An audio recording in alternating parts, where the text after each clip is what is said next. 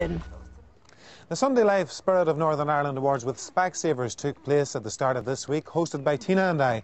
And what a wonderful night we all had, albeit a little bit emotional at times, as we celebrated some of the greatest people Northern Ireland has to offer.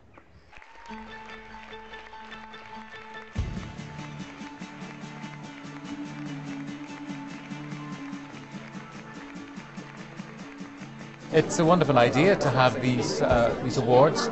I think it gives such great encouragement to people who uh, you know have difficulties in life. It reminds us that there are so many unsung heroes in not just Northern Ireland but in life. People who just do the right thing because it's the right thing to do. It was a real star-studded event, but the real stars of the show were, of course, the 15 unsung heroes who were honoured at Monday's awards ceremony all local people, each with their own story to tell about how they've overcome adversity and achieved so much.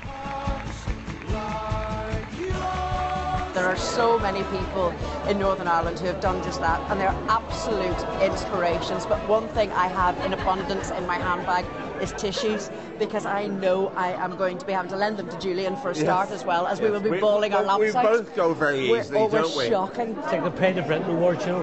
You sit and watch that. I've got a roaring and crying on here. I'll have worth two pence. Paul Russell. People like 12 year old Paul Russell, who has Apert syndrome and, against all the odds, has achieved so much, like playing the piano.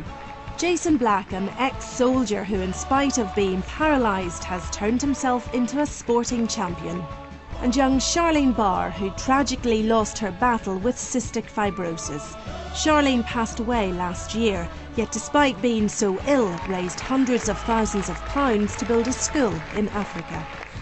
These three got the big awards of the night, with Charlene Barr winning the ultimate accolade. Needless to say, it was an emotional evening for her parents.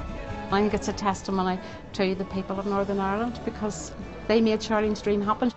Certainly, we sensed Charlene's presence with us right through the night, and you know, her dream her legacy, her vision continues, and it allows the things that she has started to continue. And a performance by pop princess Stacey Solomon brought the evening to a perfect close.